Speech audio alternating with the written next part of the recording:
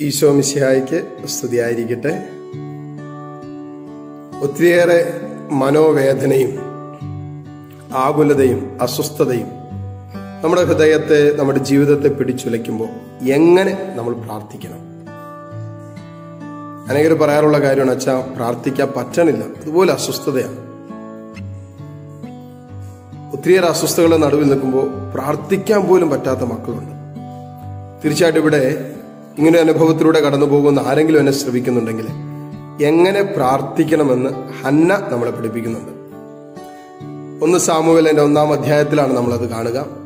Hannah ചെയ്തത് എന്താന്ന് ചോദിച്ചാൽ ഹന്ന തന്റെ ഹൃദയ വികാരങ്ങൾ അത് ഈ വിഷമവും ഈ അസ്വസ്ഥതയും ഈ ആദിയും ഈ നൊമ്പരവും ഇതെല്ലാം തമ്പുരാന്റെ മുമ്പിൽ ഇറക്കി വെച്ച് പ്രാർത്ഥിച്ചു.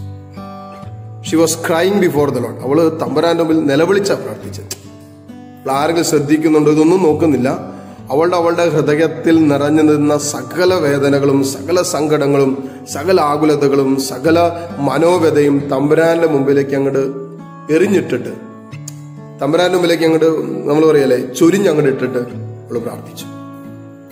വലിയ സൗഖ്യമായിട്ട് അവൾക്ക് മാറി. പിന്നീട് ഒരിക്കലും അവൾക്ക് കരയേണ്ടി വന്നിട്ടില്ലെന്ന് തന്നെ വചനം പറയാം മക്കളെ നമ്മുടെ അനുദിന ജീവിതത്തിൽ ഇതുപോലെ നമ്മുടെ മനസ്സിനെ അസ്വസ്ഥപ്പെടുത്തുന്ന നമ്മൾ ആകുലത ആകുലതകളിലേക്ക് നമ്മളെ തള്ളിയിടുന്ന അസ്വസ്ഥതയിലേക്ക് നമ്മൾ ഇടുന്ന ജീവിതത്തിന്റെ അനുഭവങ്ങളുടെ നടുവിൽ നിൽക്കുമ്പോൾ തീർച്ചയായിട്ടും പ്രാർത്ഥനയാണ് എല്ലാത്തിനും ഉത്തരവുള്ളത്.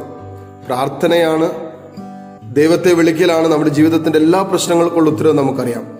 അവിടെ ദൈവത്തിന്റെ മുമ്പിൽ നമ്മുടെ ഹൃദയ വികാരങ്ങളെ വിചാരങ്ങളെയൊക്കെ ഒന്ന് ചൊരിഞ്ഞിടാൻ നമ്മൾ പഠിച്ചാൽ അപ്പോൾ തന്നെ നമുക്കൊരു സൗഖ്യം കിട്ടും. അപ്പോൾ തന്നെ നമ്മുടെ മനസ്സിന്റെ വേദനകൾക്കൊരു സൗഖ്യം കിട്ടും.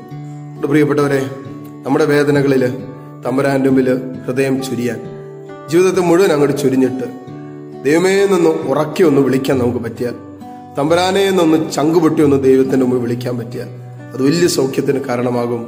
നിങ്ങളുടെ എല്ലാ സങ്കടങ്ങളിലും നിങ്ങളുടെ എല്ലാ വേദനകളിലും ദൈവത്തെ വിളിച്ചിറക്കാൻ പരിശുദ്ധാത്മാവ് സഹായിക്കട്ടെ. ഈശോയിൽ സ്വന്തം വിജിലച്ചൻ. ആമേൻ.